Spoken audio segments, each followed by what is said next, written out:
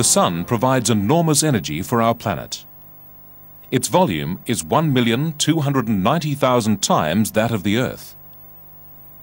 Its surface temperature is 5,500 degrees centigrade. The Sun burns hydrogen to give us sunlight. Sunlight is used by plants on Earth to make food and produce oxygen. Two oxygen atoms join with four hydrogen atoms to form two water molecules. Water can be split into its atomic components, hydrogen and oxygen, by passing an electric current through it. Hydrogen is released to the negative electrode. Oxygen is released to the positive electrode. As a final product, hydrogen becomes hydrogen gas and oxygen becomes oxygen gas.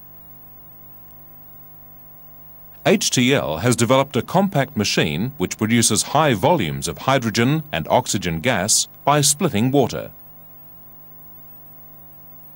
HTL's electrolyzer produces from water a combined mix of hydrogen and oxygen gas known as hydroxy gas. It is in the ratio of 2 parts hydrogen to 1 part oxygen. A 5 litre reservoir of water is used to fill the generator and can produce approximately 9,000 litres of gas. The hydroxy gas is produced on an as-need basis. Only 15 litres of gas are stored at any time. When passed through a focusing nozzle and ignited by a simple spark, the hydrogen and oxygen gases recombine to release heat energy in a powerful flame, while the atoms return to water molecules.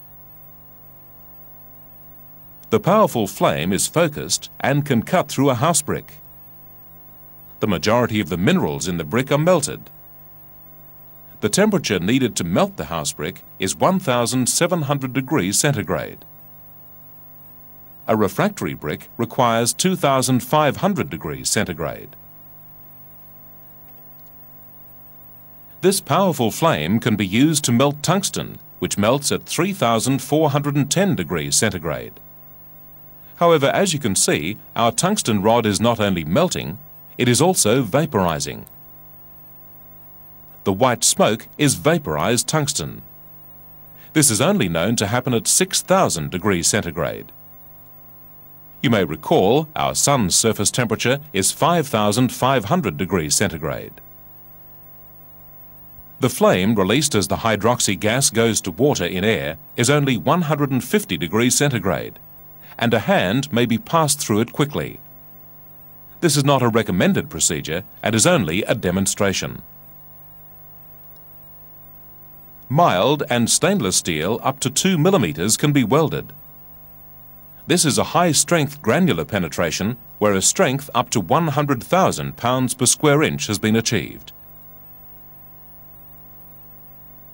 Two pieces of aluminium can be fused together using common aluminium filter rod and flux. No carbon is formed, the properties of aluminium are not weakened, and the weld is as strong as aluminium itself.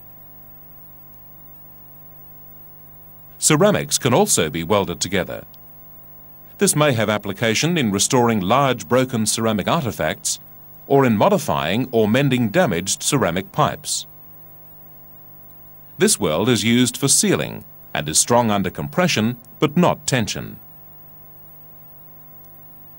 It is also possible to weld steel to ceramic. A hole is initially melted in the ceramic and a portion of the steel is then also melted as it is placed into the melted ceramic. This technique may be valuable in the building industry.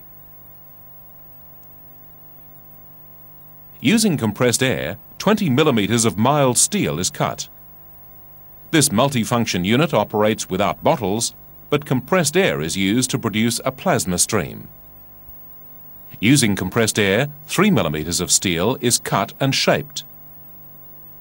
A unit which separates hydrogen and oxygen is now being tested and hydrogen used to produce a plasma stream is expected to cut much more efficiently.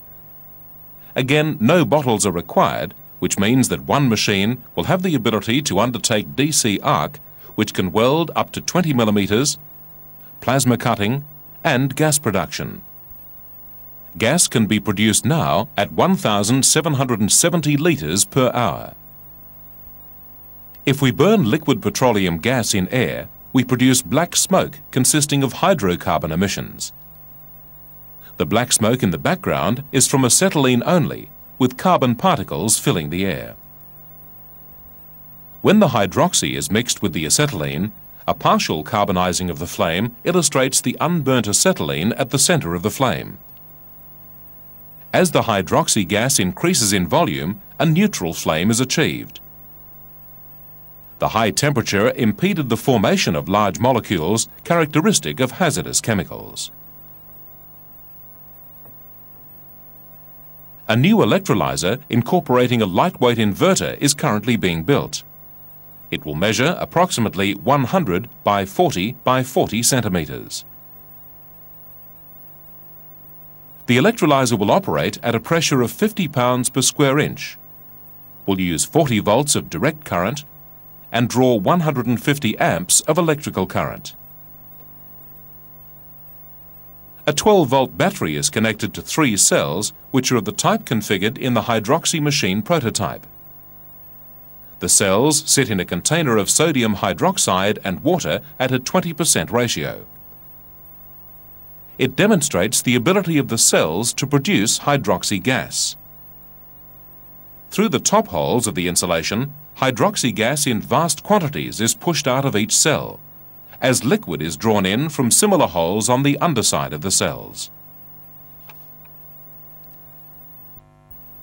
HTL have produced a machine which effectively takes water as a feedstock for hydroxy gas manufacture and then returns the gas to water whilst focusing and utilising the energy byproduct to perform all of these tasks. This unit is a major technological breakthrough it will deliver sufficient hydrogen and oxygen gas to weld and or cut steel, aluminium and ceramics. More importantly, it will do it at a cost which is a fraction of current welding and plasma cutting costs.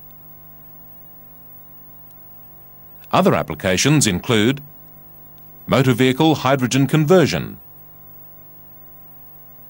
eradication of general and toxic waste, hydrogen and or oxygen production systems, desalination of seawater, vacuum systems, mineral mining, cogeneration systems,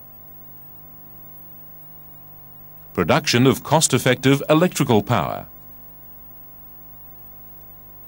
materials treatment using high temperatures, and many others. So we started with water molecules. We split them into atoms, focused the energy, worked with it, and then we returned the atoms to water. Welcome to a new frontier in alternative energy application.